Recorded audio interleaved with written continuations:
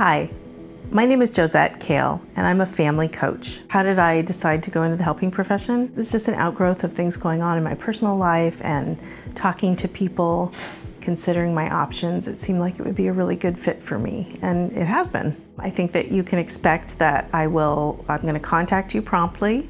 I will work with you to find a meeting time that fits your lifestyle, and um, I'm going to spend some time getting to know you. I'm going to pray for my clients too. I usually like to end our sessions with prayer, and I often pray for my clients in between times because I think that's a really important part. But but I do very much view myself as um, just someone who's coming alongside them and, and trying to support them in what they're doing because what they're doing is crucial. I think that much, if not most, of the healing happens just in the home environment, when, how, the, how they parent on a day-to-day -day basis. We all have blind spots in different areas and sometimes part of my job is to help parents become aware of some of their blind spots. So again, that openness, that willingness to try new things.